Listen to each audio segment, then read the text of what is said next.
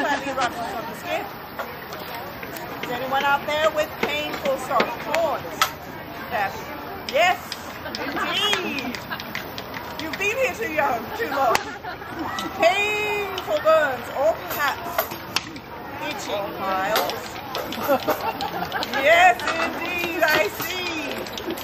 You don't seem convinced that this will cure all of those skin ailments. Well then, ladies and gentlemen, boys and girls, have living testimony for you to prove to you how effective this medicine can be. I would like to introduce to you all the mysterious lady from the East.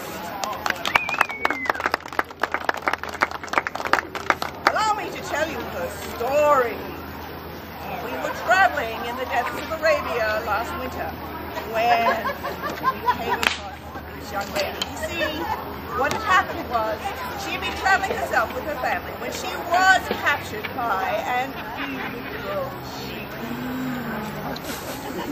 And this evil sheik, he captured her and he placed her in his harem and he forced her to dance in the Arabian style.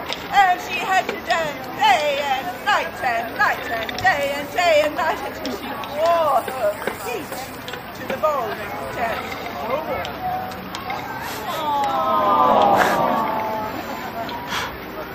And did this evil sheik let her go? No.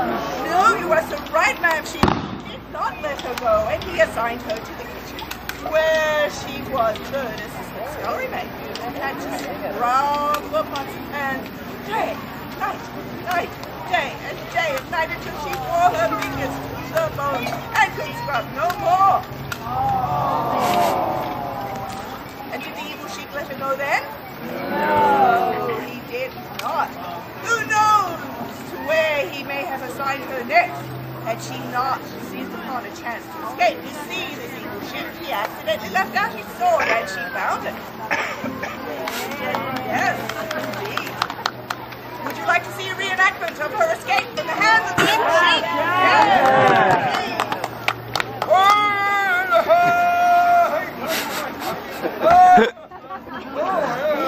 Oh, it's so good to be an evil sheep. oh, oh,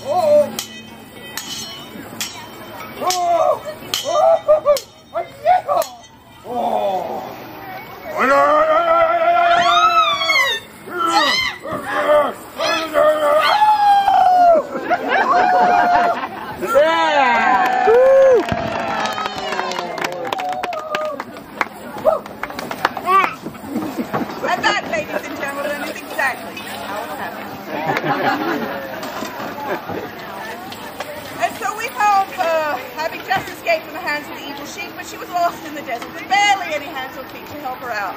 And so, having found her, and with daily application of the witty hickory salve, as you can see, her hands and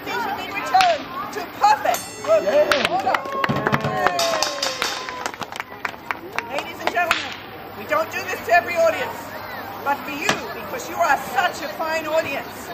This mysterious lady would like to dance in the Arabian style as she learned in the hands of the sheik. Would you like to see her?